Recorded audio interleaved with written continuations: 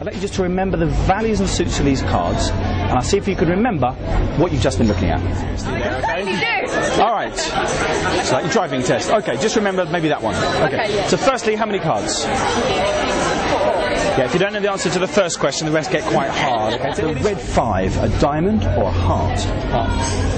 Oh, I don't know. I just remembered the. It's a diamond, but at least you're joining. It is a diamond. Can I borrow your hand just for a moment? Okay.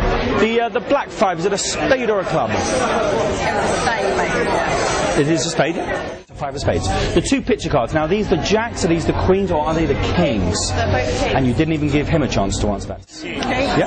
Now, if I have the two kings, Claire, do you remember the cards I gave you? They're the two. Cards. Unless the hand's quicker than the eye. But if the hand's quicker than the eye, then I'd be holding on to those two cards over in my hand.